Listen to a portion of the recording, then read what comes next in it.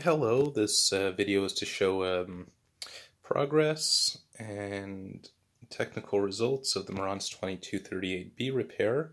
Now this came to me with a really bad static and crackling sound, mostly on the right speaker. Um, it was very significant, it would make these big cracks and pop sounds that were um, um, very loud. It wasn't nice to um, to listen to. Um, this came from another repair shop where they said they changed a lot of capacitors. Uh, so I just wanted to document that I do see this one was changed here, this one, and this third one here. I didn't notice any other ones. Actually, I didn't realize that these were changed at first because um, because they're black, and specifically this one with the um, silver stripe. Uh, they just um, were in that easy to find. Anyway, so I know that these three capacitors were changed, uh, but I didn't see any other ones um, that were marked in the technical um, uh, the invoice from the last repair shop. I noticed that these aren't the right screws here. Uh, because they're not the right screws, this doesn't make a perfect contact here. Sometimes these components have to be grounded, uh, but I don't think that's the case. I think they're they should be diodes and both the connections are there, but sometimes there's a contact on the back of them and um, they have to be mechanically connected, but I think in this case it's it should just be flush against the heatsink to dissipate the heat properly and to um, to regulate the heat on um, it should how the temperature of this should basically match the temperature of the output transistors Okay, so next uh, I check the DC offset and the idle current adjustments, which are respectively, this is the right channel and that's the left channel. Um, so they weren't adjusted properly. I was able to get them to the proper values, and then I checked the power supply after, um, which you use this adjustment to set it to 35 volts DC, and that feeds into the um, into the power amplifier. Um, now that's where I noticed something was weird. That was set to about 20 volts. So, I mean, it's uh, almost 50% of the voltage that it was supposed to be. And I think between that and the way that these were regulated, that's what was causing the problem. I, I have a feeling because the voltage was so low, and then with the way the idle current was set, um, it was probably causing the transistor to activate and then deactivate. So we would uh, turn on, turn off, and it would. That's probably what was making those big crackling sounds. Um, so I think someone did realize that there was a problem with the power supply, and unfortunately, they only changed these three capacitors. Much more likely, it's. Um, I haven't looked into it yet. I stopped here, but this is probably the two uh, regulating transistors there, and I'm assuming that's most likely the culprit. Uh, there's also a couple of diodes here, and um, might be worth changing while I'm there.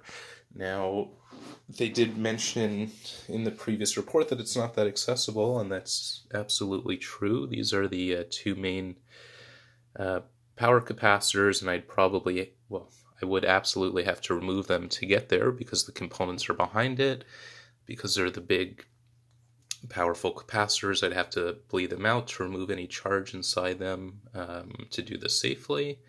So because I have to do a little bit more work to get there, um, although that, you know, a lot of people change capacitors, they think that's the issue, and I'm not going to get into a whole uh, spiel about that, but just because it's hard to access, I would change these, you know, while I was there. Um, I, you know, uh, I know that these were changed, but, you know, uh, I don't like to um, give the benefit of anyone having done anything properly. So, I mean, I would just change all of them while I was there. Uh, but definitely these two components, and then there's uh, some diodes here, might as well change at the same time. Um, I could change the um, power resistor there, or maybe some of the other diodes and resistors. Um, again, just because it's hard to access, it's probably worth changing most of the components in this section. Um, And just to demonstrate where it's at, I have both the channels hooked up. So as soon as I crank this up, um, I was only able to get it to 30 volts, and it should go well past 35. So uh, I'm almost certain that this is the problem, this power supply section here. When I did crank it all the way up, I was still able to adjust the DC offset and idle currents properly. Uh, although the DC offset was pretty close to zero millivolts, there was still an AC signal overlaying it, uh, or a ripple current. Um,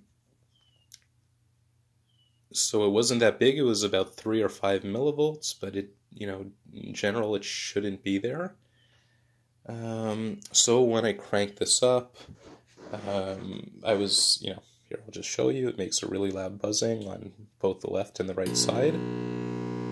So it's even on the left and right side. That's very um, indicative of a power supply problem if it was an amplifier problem, you know, uh, that buzz would only happen on the channel that's um, uh, problematic. So I'm just going to unplug this to show that it's the same on both sides.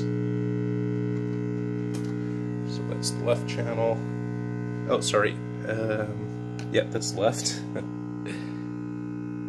and although it's making that loud buzzing sound, it's not making that popping, crackling sound. So I think I think what happened is instead of changing the components for whatever reason, you know, they just kind of took a few guesses, changed a few random capacitors, and then they probably just kind of adjusted all these until it didn't make that horrible sound. I think if I turn this back down to 20 millivolts, uh, it'll eliminate the buzzing sound, but you know through eliminating the buzzing sound it's gonna it's gonna cause other issues in the amplifier. So basically my diagnosis diagnosis is to um, is that there's a problem in the power supply here. Um, definitely change these two transistors. Might as well change the diodes on the bottom. And then because you know it's hard to access might as well just change all the capacitors there as well. Um, pretty confident that would solve the problem, but um, yeah, I'd have to actually do it and then see the results. But you know, um, based on all my experience and all the measurements that I've taken, um, that's what I would recommend. If that's if this was my amplifier, that's what I would do. And if uh, the problem persisted, I would continue from there. But that would definitely be the first step.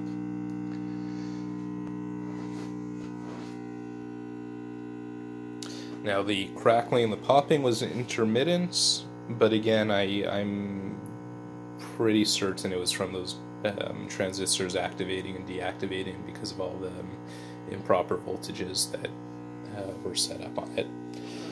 So I'll turn this off, get rid of the sound, and um, hopefully this uh, can be restored back to its former glory.